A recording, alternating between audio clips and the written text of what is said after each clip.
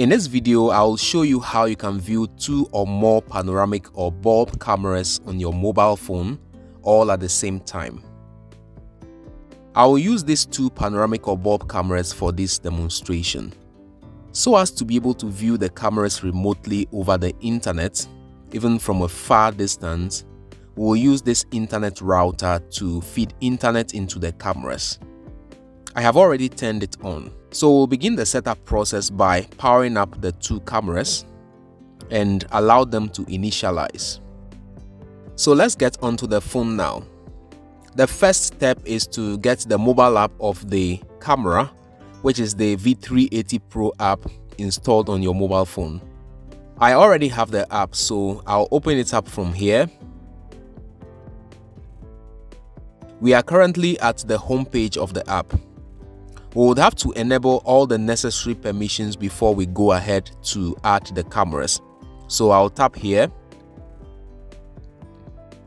This particular permission which has to do with turning on the phone's Wi-Fi is so vital to this setup. So we'll slide this button on and then go ahead to turn on the phone's Wi-Fi. So as this is done, we'll go back into the cameras app.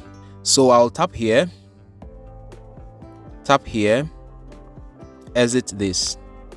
I can now cancel this since we have already executed it.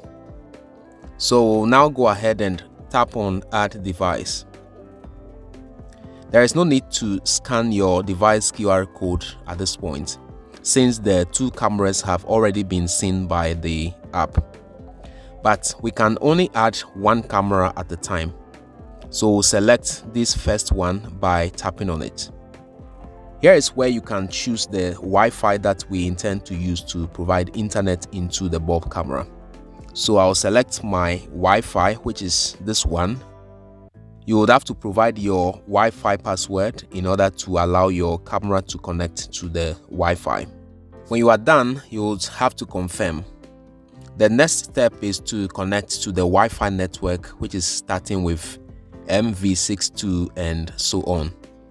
So I'll tap on connect AP spot. After connecting to the hotspot, we would have to return to the app. We would have to tap I know. So we'll choose the first AP. We'll choose connect only this time. So it's connected. We'll go back into the app from here. Go back again exit this. So the connection is now being established to the phone through the app. It is getting activated now. So the first camera has been successfully added. To add the second camera, we'll have to tap on the addition symbol that is here. We'll select add camera. Choose this camera that is here. I'll then choose my internet Wi-Fi router and then confirm the password. Select connect to AP spot. Select I know. We'll choose this AP spots. Allow it to connect. Connect only this time. It's now connected. We'll go back into the app now So the connection is being established between the camera and the phone for the second camera. The second camera is being activated. So it is successful now. We'll tap on view device.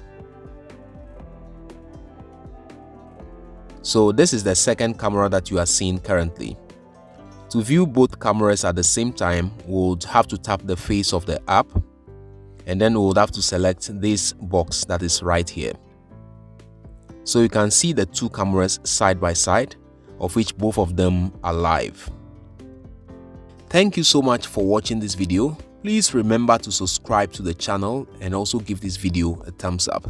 See you in the next video.